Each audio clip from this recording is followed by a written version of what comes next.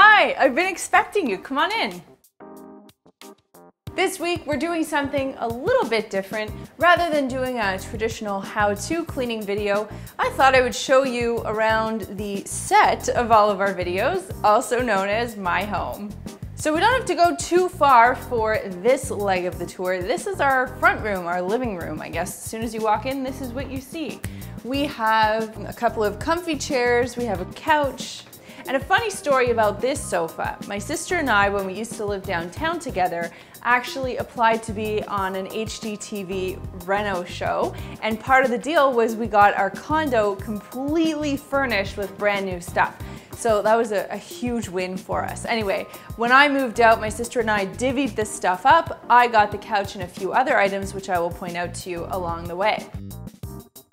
This here is Frank, who keeps an eye on everything downstairs. On the other side of the room, we have this table, which is from a Canadian store called Stacaro. These two lamps also came from our HGTV show appearance, and we also have this beautiful mirror, which is also from Stacaro and is easily one of our favorite pieces in our home. Down below, we have some antique crates in which we keep cat toys, very important. Alrighty, let's head to the dining room.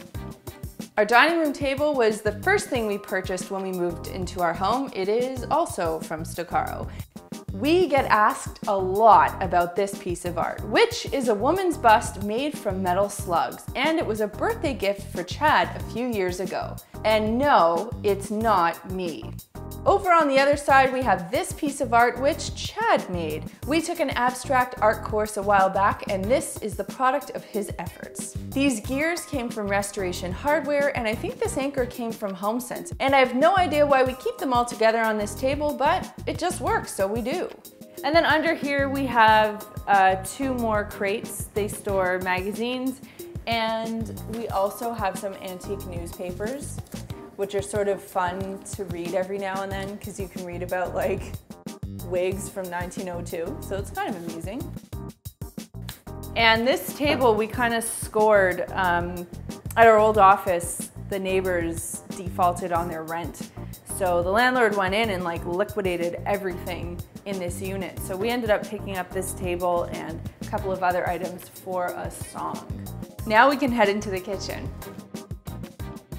This is a really interesting piece. Chad and I absolutely love it. We got this in a barn. Like it was this antique shop in a huge barn and we had been looking for a piece just like this for a really, really long time because our kitchen lacks a lot of storage. So this gave us the opportunity to store things that we actually want to showcase like glassware, bottles of wine, some cookbooks, and some liquor for those party nights. The thing I love about this piece, it also has two really big utility drawers and then these huge cupboards here, which allow me to store things like small appliances and service pieces that I really don't have room for in my kitchen. Then over here we have the actual prep area. You can see we don't have a kitchen table. There's no point, we eat in the dining room. So we have a little breakfast bar, which is kind of cute. One thing I really love is my spiralizer. And if you don't know what a spiralizer is, it's a, an implement that allows you to spiralize a vegetable and create vegetable pasta. So I make pasta out of beets, sweet potatoes, zucchini, squash, broccoli stems, all kinds of stuff. One thing I adore in my kitchen, aside from my, well, there are three things I really adore. My spiralizer, my Blendtec blender, which I use every morning to make a smoothie, and my skillet, my cast iron Le Creuset skillet which was a Christmas gift from my mother-in-law. Thank you, Cindy. And I use this a lot. I mean, I would say probably four or five times a week as well. And finally, oh, cornbread. Um, so I have this thing for cornbread. I recently discovered it, I don't know, maybe four or five months ago. I cannot stop eating it. Um, if you are interested in a gluten-free, dairy-free recipe for cornbread, let me know and I will make a video about it on my second channel. That's pretty much all we have down here, but what we can do is head upstairs. Just at the top of the stairs to the left, we have this front room. This is kind of our family room, sitting room, chill out room, and we spend, I would say, 70% of our time at home when we're awake in this room. A lot happens in here. So this I would say had to be probably one of the biggest selling features for the home because we had this in a previous house we lived in, totally fell in love with the concept and we really, really love this room up here.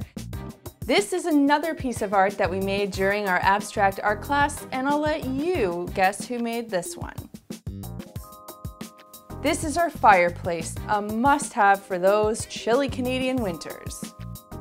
Our couch is super comfortable and we both love lazing about on it during our downtime. We recently picked up this ottoman, which Paisley has managed to claim for herself. This was painted by a very talented Canadian artist named Jenna Faye Powell. I'll put a link to her website below. We also keep our TV in this room. We want to upgrade that area at some point and we have some video games, our robot vacuum, this lady doing a handstand, and of course our wall of pictures and mirrors that we're constantly building, and more alcohol.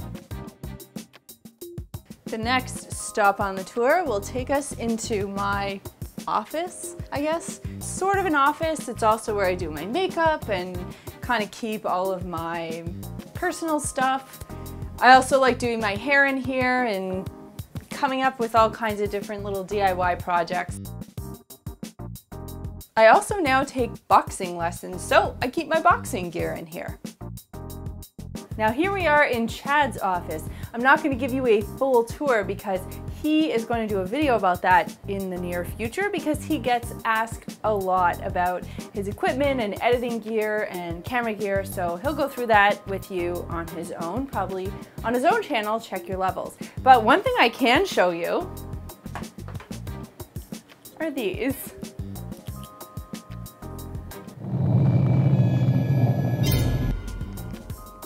And finally, our bedroom. And I'm sure you've seen several videos in here, but I will still show you around because we do get asked a lot about different pieces in the room. Most of the furniture in our bedroom are antique pieces which we have had refinished. Both Chad and I love antiquing and finding one-of-a-kind pieces. We also get asked a lot about our famous headboard, which is from a store called West Elm. And right above our bed are these prints, which we got from Stacaro. On the other side of the room, we proudly hang our Maker Reynolds family values, which we made for our wedding and plan to pass on to our children in the future.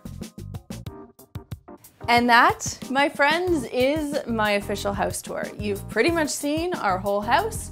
You know where I sleep, you know where I eat, you know where I do all of the stuff that I do.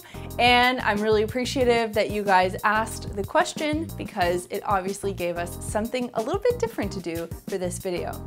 If you have any questions about the house or anything that you've seen in the video, feel free to ask it in the comment box down below. Let me know if you want me to expand on anything further. Perhaps we can do a separate video about that later. And remember to check Melissa Maker, my second channel, and Chad's channel, Check Your Levels, to see some of the other videos that we do, which will involve some other things around the house. There's a button down there that lets me know you care, so click it if you liked this video. And if you haven't done so already, hit subscribe, which Chad will put somewhere in this box. That way you can catch more of our videos each and every week. They are usually cleaning related. This is something a little bit off topic.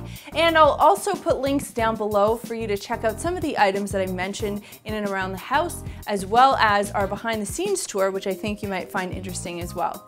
Thanks so much for watching, and we'll see you next time.